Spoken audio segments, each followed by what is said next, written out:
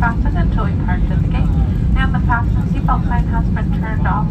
Cell phones may now be used. However, laptop, laptop computers and other large electronics must remain stowed once we arrive at the gate. Please use caution opening overhead bins to prevent injuries from articles that may shifted during landing. For questions regarding ground transportation and baggage claim, a customer service representative